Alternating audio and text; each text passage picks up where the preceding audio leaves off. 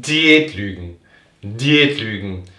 Es gibt so viele Diätlügen in Printmedien, im Internet, im Fernsehen. Kennst du die Sprüche 5 Kilogramm in 10 Tagen? Kennst du das?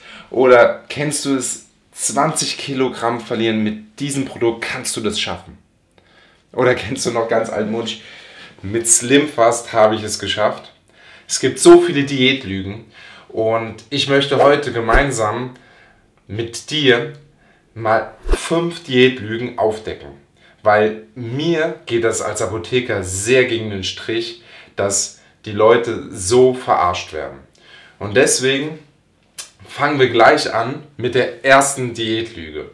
Mit der ersten Diätlüge bedeutet Low Fat. Low Fat, kennst du das? So wenig Fett wie möglich essen. Seit 30 Jahren in Amerika implementiert. In Deutschland, du darfst also weniger Fett. Was hat das gebracht in den letzten 30 Jahren in Amerika? Sag mal, was hat es gebracht? So eine Kurve an Zunahme von Adipositas.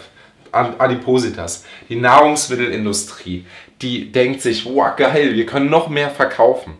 Wir können noch mehr verkaufen. Die freut sich richtig, dass man diese Low-Fat-Diät-Lüge rausgebracht hat. Ja? Und deswegen sage ich, kein Fett ist eines der schlimmsten Diätlügen, die man vor 30 Jahren erfunden hat. Weil es gibt so gute Fette. Zum Beispiel Olivenöl, super gut. Oder Wildlachs mit den Omega-3-Fettsäuren. Also, Low Fat, Nummer 1 Diätlüge, mach es nicht. Die zweite Diätlüge, vielleicht kannst du sie dir denken, die ist im Moment sehr populär. Ja, sehr populär. Die machen wir ganz zum Schluss. Und die zweite, die ich dir jetzt vorstelle, ist FDH. FDH, für was steht das? Für frisst die Hälfte. Frisst die Hälfte bedeutet, du musst verzichten auf irgendetwas. Das ist bei anderen Crash-Diäten auch so. Und was zeigt uns schon die Bibel, was Verzicht ausrichtet? Was? Ja, die Adam und Eva haben im Paradies gelebt. Was durften sie nicht essen? Den Apfel durften sie nicht essen. Und was haben sie gemacht? Am Schluss, sie waren im Paradies, sie hatten alles, aber sie haben den Apfel gegessen. Und das ist im Menschen ganz normal. Wenn du auf etwas verzichtest, dann machst du es groß, dann wird es immer größer in deinem Kopf. Das ist eine ganz natürliche Handlung vom Menschen. Und deswegen FDH, ja, für eine gewisse Zeit wird es helfen, aber du musst na, gucken, was du isst. Ne? Was isst du? Also, zweite Lüge, FDH, bitte nicht. Dann dritte Lüge ist, du musst dich wiegen. Das ist ganz wichtig, dass du Zahlen hast. Was ist der größte Tod? Es ist die Waage. Weil wenn du nur wegen der Waage abnimmst, also nur für den Körper, dann vermisst du irgendetwas. Weil, wenn du es nur für den Körper, für einen gut aussehenden Körper machst, dann vergisst du dein Gehirn und deine Emotionen mit dem Darm zusammen. Und das ist extrem wichtig, weil wir sind nicht nur eine Hülle, wir sind nicht nur ein Körper. Unser Gehirn, das musst du dir vorstellen, hat zwar nur 2% der ganzen Körpermasse in sich, aber verbraucht über 25% unserer Energie. Und der Darm hat auch über 25% unserer Energie. Und wenn du die einfach außen vor lässt, sagst du machst nur Körper, ja, du machst nur einen Körper, dann funktioniert es nicht. Ja.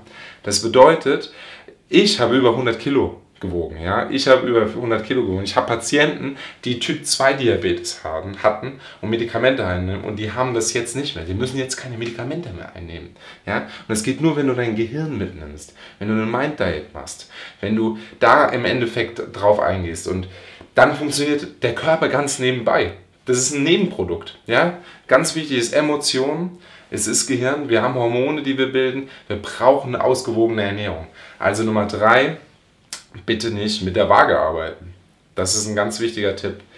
Der Tipp Nummer 4 ist, diese ganzen Diätprodukte, wie diese ganzen Shakes und so etwas, die dir über gewisse Mahlzeiten hinweg helfen.